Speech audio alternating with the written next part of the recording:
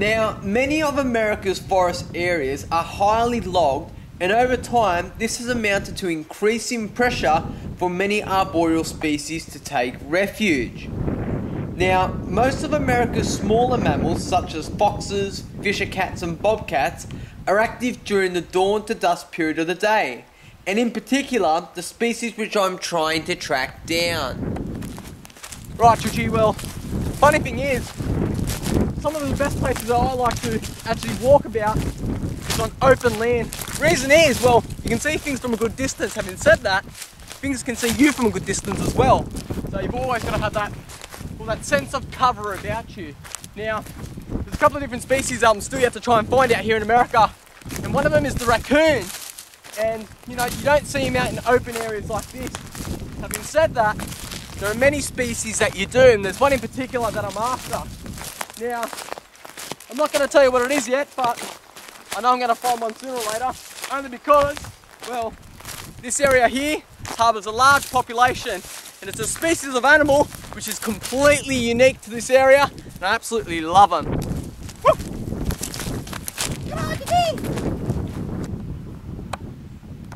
Now, I'm trying to stay as vigilant and unsuspicious to my surroundings as I'm looking for evidence that a particular animal is or has been in a certain area.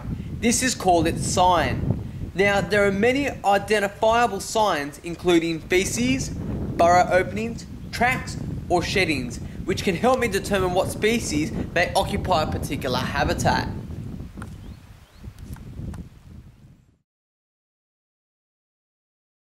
Keep running here. I'll see you. I'll see you.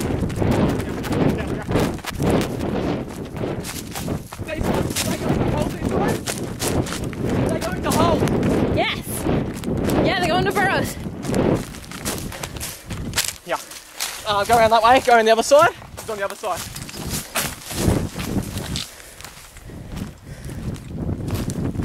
Mate, you got the camera recording, yeah? Yep.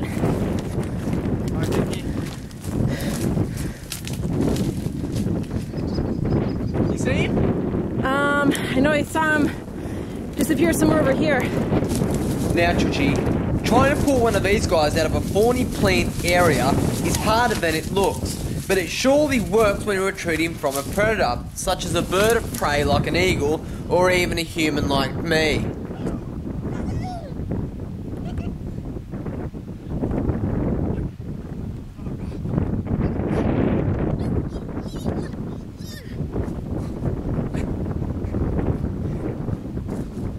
Alright. He was going for a little bit, wasn't he? Now this guy here, this guy here, he's known as the, ow, he's known as the armadillo, the nine-banded armadillo, and yeah, pretty common.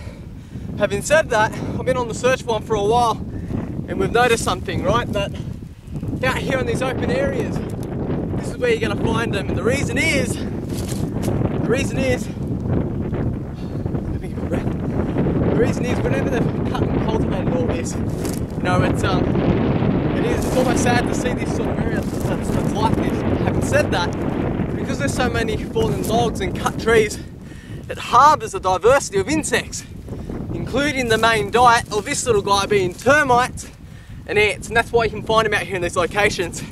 They just forage around, get into those those logs with these sharp claws, absolutely sharp claws. And it's funny because as I was chasing him, one of their defense measures is either A, I'm gonna dig down real deep, or B, I'm gonna jump up and I'm gonna hit you in the face.